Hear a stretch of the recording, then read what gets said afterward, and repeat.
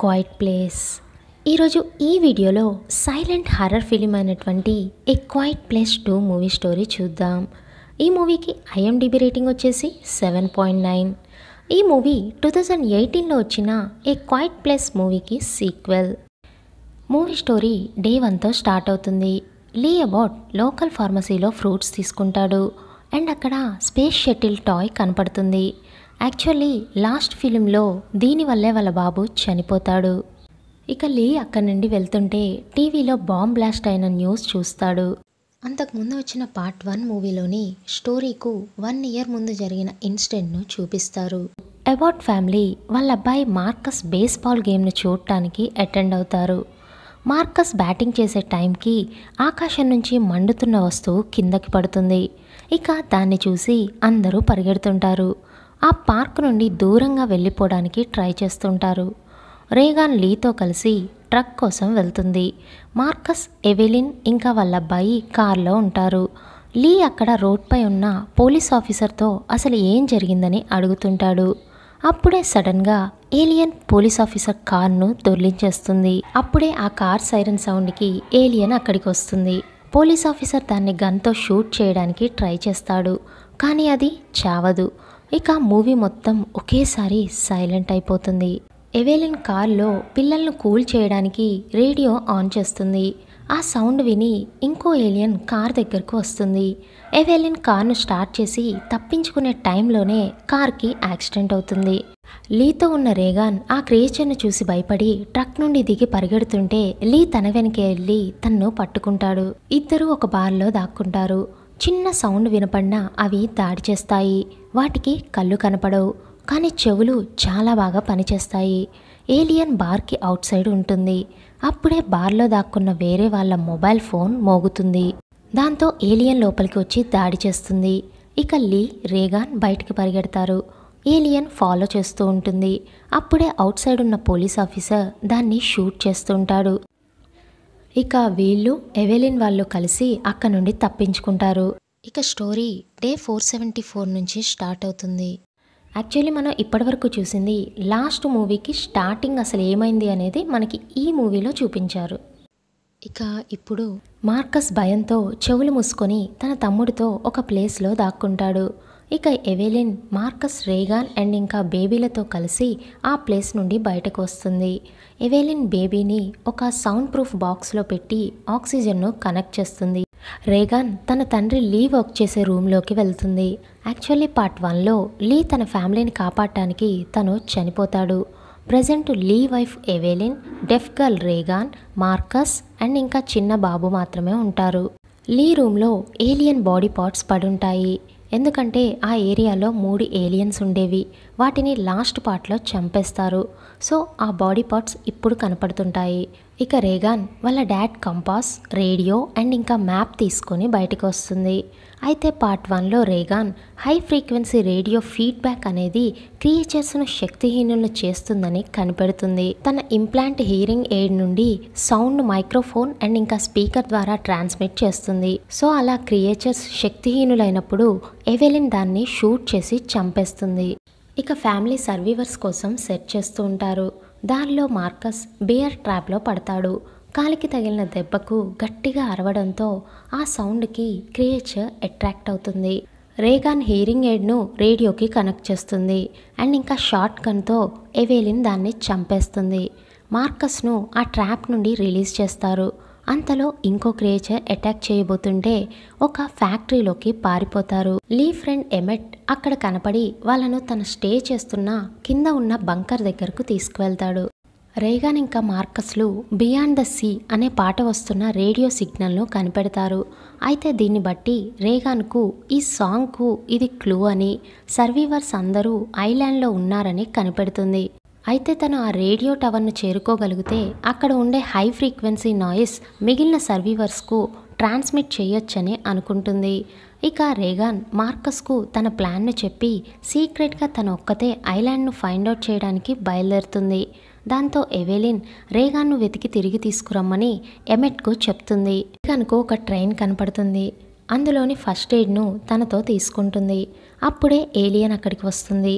Regan దాన్ని చూసి భయపడిపోయి రేడియో ఆన్ చేసి హీరింగ్ ఎయిడ్ను దానికి కనెక్ట్ చేసి రేడియో ఫ్రీక్వెన్సీని పెంచుతుంది. అప్పుడే చేతిలోని గన్తో షూట్ చేస్తుంది.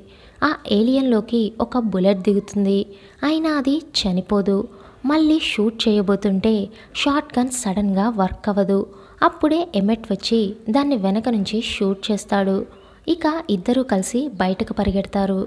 ఎమెట్ రేగాన్ను తిరిగి వెళ్దామని చెప్తాడు. కానీ రేగాన్ ఎమెట్కు తన ప్లాన్ను చెప్పి కన్విన్స్ చేస్తుంది. బంకర్లో బేబీకి ఆక్సిజన్ అయిపోస్తుంటుంది. సో ఇక మార్కస్కు చెప్పి తను ఆక్సిజన్ కోసం బయటికి వెళ్తుంది. దాంతో మార్కస్ ఫౌండరీ మొత్తం తిరిగి చూస్తూ ఉంటాడు. అప్పుడే ఎమెట్ వైఫ్ డెడ్ బాడీ కనపడుతుంది. సో కంగారులో కొన్ని ఆబ్జెక్ట్స్ను తగలడం వలన దగ్గరలో ఉన్న క్రియేచర్ అలర్ట్ అవుతుంది. సో ఇక భయంతో కంగారుగా ట్యాంక్లోకి బేబీని తీసుకొని వెళ్తాడు. అయితే అనుకోకుండా అది లాక్ పడిపోతుంది. లోపలికి వెళ్ళాక ఆక్సిజన్ అయిపోయిందని చూస్తాడు. బయటికి వద్దామంటే లాక్ పడిపోయి ఉంటుంది. ఇక తను తన నోటితో గాలిని ఆక్సిజన్కు ఇస్తూ ఉంటాడు. ఎమెట్ రేగాన్లకు ఐలాండ్ కనపడుతుంది. అక్కడ నుండి రేడియో సిగ్నల్ వస్తూ ఉంటుంది. ఇద్దరు బోట్లో వెళ్ళడానికి బోట్ స్టాండ్ దగ్గరకు వెళ్తారు. అక్కడ ఒక అమ్మాయిని చూస్తారు. ఆమె ఏడుస్తూ ఉంటుంది. ఎమెట్ తన దగ్గరకు వెళ్ళి ఏమైందని అడుగుతుంటే ఆమె తనపై కోపంతో దాడి చేసి వెళ్ళిపోతుంది. అప్పుడే అక్కడకు సిటీ క్రిమినల్స్ గ్యాంగ్ వస్తుంది. అంటే ఆ అమ్మాయి ఆ గ్యాంగ్లో అమ్మాయే. అంటే ట్రాపింగ్ కోసం అన్నమాట వాళ్ళు రేగాను సెట్ చేసి హీరింగ్ ఎయిడ్ను తీసుకుంటారు. అండ్ అక్కడ ఏలియన్ మార్కస్ వాళ్ళున్న ట్యాంకర్లోకి వెళ్తూ ఉంటే అప్పుడే ఆక్సిజన్ కోసం వెళ్ళిన ఎవెలిన్ తిరిగి వస్తుంది. ఆ ఏలియన్ లోపలికి వెళ్ళడం చూసి అది బయటకు రావాలని గాల్లో గన్ షూట్ చేస్తుంది. అండ్ అక్కడ ఎమిట్ వాళ్ళతో ఫైట్ చేయడానికి ట్రై చేస్తాడు. అండ్ కావాలనే నాయిస్ను క్రియేట్ చేసి క్రియేచర్స్ను అట్రాక్ట్ చేస్తాడు. అయితే క్రియేచర్స్ స్విమ్ చేయలేవని అర్థమయ్యి నీటికి దూరంగా ఉంటాయని తెలిసి రేగాన్ ఒక చిన్న బోట్ తీసుకొని నీళ్ళలో ఉన్న ఎమిట్ను అందులోకి లాగుతుంది. అయితే ఎమిట్ ఆ క్రిమినల్స్తో ఫైట్ చేస్తున్నప్పుడు రేగాన్ హీరింగ్ ఎయిడ్ను తీసుకుంటాడు. దాన్ని రేగాన్కు ఇచ్చేస్తాడు. అండ్ అదే టైంలో ఒక ఏలియన్ బోట్పై ఉండటం మనకు చూపిస్తారు. ఇక ఇద్దరు కలిసి ఐలాండ్కు చేరుకుంటారు. అక్కడ సర్వీవర్స్ టెంపరీగా నివసిస్తుంటారు అంటే ఈ ఫోర్ సెవెంటీ ఫోర్ డేస్ వీళ్ళు సేఫ్గా ఇక్కడ ఉన్నారనమాట అక్కడ వాళ్ళు వీళ్ళకు ఫుడ్ పెట్టి వెల్కమ్ చెప్తారు. ఎవెలిన్ ఏలియన్ పక్కనున్న ఒక గ్యాస్ సిలిండర్ను షూట్ చేస్తుంది. అయినా అది చనిపోదు. పైనున్న వాటర్ పైప్ లీక్ అవుతుంది. సో ఇక ఆ వాటర్ సౌండ్తో ఎవెలిన్ అక్కడి నుండి తప్పించుకొని మార్కస్ వాళ్ళ దగ్గరకు వెళ్ళి బాబుకు ఆక్సిజన్ పెడుతుంది. ఐలాండ్లోని ఒక అతను ఎమిట్తో క్రియేచర్స్ ఈత కొట్టలేకపోతున్నాయని తెలుసుకున్న గవర్నమెంట్ వీలైనంత మందిని ఈ ఐలాండ్కు తరలించాలనుకున్నారని చెప్తాడు. రేగాన్ తన హీరింగ్ ఎయిడ్తో రేడియోలో బ్రాడ్కాస్ట్ చేయాలనుకుంటున్నా అని చెప్తుంది. నెక్స్ట్ డే మార్నింగ్ ఎమెట్ చనిపోయిన తన భార్య పిల్లలకు శ్రద్ధాంజలి చేస్తూ ఉంటాడు. అప్పుడే ఒక బోట్ అటువైపుగా వస్తూ ఉంటుంది. అయితే ఆ బోట్లోనే అంతకుముందు మనం ఆ ఏలియన్ను చూసింది. సో ఇక ఎమెట్ దాన్ని చూసి భయంతో పరిగెడుతూ వెళ్ళి అందరికీ చెప్తాడు. కానీ అప్పటికే అది దగ్గరికి వచ్చేస్తుంది. ఏలియన్ అందరినీ చంపేస్తూ ఉంటుంది. ఎమెట్ ఒక బాబును కాపాడి నైట్ ఎమెట్తో మాట్లాడిన అతని ఇంట్లో దాచిపెడతాడు. ఇక రేగాన్ ఎమెట్ అండ్ ఇంకా ఆ పర్సన్ కలిసి కార్లో రేడియో స్టేషన్ దగ్గరకు వస్తారు. అయితే ఆ కార్ సౌండ్ ద్వారా ఆ ఏలియన్ వీళ్ళను ఫాలో అవుతూ వస్తుంది. ఏలియన్ ఆ ఐలాండ్లోని పర్సన్ను పట్టుకొని చంపేస్తుంది. రేగాన్ ఇంకా ఎమిట్లు రేడియో స్టేషన్లోకి వెళ్తారు. రేగాన్ రికార్డింగ్ రూమ్లోకి వెళ్ళి బ్రాడ్కాస్టింగ్ మైక్ను తీసుకుంటుంది. అవుట్ సైడ్ ఉన్న ఎమిట్పై ఏలియన్ దాడి చేస్తూ ఉంటుంది. రేగాన్ తన హీరింగ్ ఎయిడ్ను తీసుకొని బ్రాడ్కాస్టింగ్ని ఆన్ చేసి హీరింగ్ ఎయిడ్ను మైక్కు పెట్టి ఫుల్ వాల్యూమ్ పెడుతుంది. అక్కడ ఎవెలిన్ దగ్గర ఆ ఆక్సిజన్ కూడా అయిపోతుండటంతో బయటకు వచ్చి చూస్తే ఏలియన్ అక్కడ ఉండదు. కానీ సడన్గా అక్కడకు ఏలియన్ వస్తుండటంతో తిరిగి లోపలికి వెళ్ళి డోర్ క్లోజ్ చేసుకుందాం అనుకునే లోపే అది డోర్ దగ్గరకు వచ్చేస్తుంది. కానీ లోపలికి వెళ్ళడానికి అది అందులో సరిపోదు. అయితే రేగాన్ అక్కడ రేడియో ప్లే చేయడం వల్ల మార్కస్ దగ్గరున్న రేడియోలో ప్లే అవుతుంది. మార్కస్ ఆ ఫ్రీక్వెన్సీని సెట్ చేయడంతో ఆ సౌండ్తో ఏలియన్ పవర్ తగ్గుతూ ఉంటుంది. అప్పుడే మార్కస్ గన్తో దాన్ని షూట్ చేస్తాడు. అండ్ రేగాన్ రేడియో స్టేషన్లో మైక్ స్టాండ్ తీసుకొని ఆ ఏలియన్ను చంపేస్తుంది.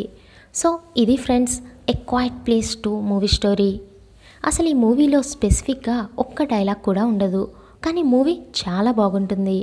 ఇంకా చాలా సస్పెన్స్ ఇంకా సర్ప్రైజ్ కూడా ఉంది. సో మీకు ఈ వీడియో నచ్చితే లైక్ షేర్ అండ్ కామెంట్ చేయండి. And don't forget to subscribe. Thanks for watching.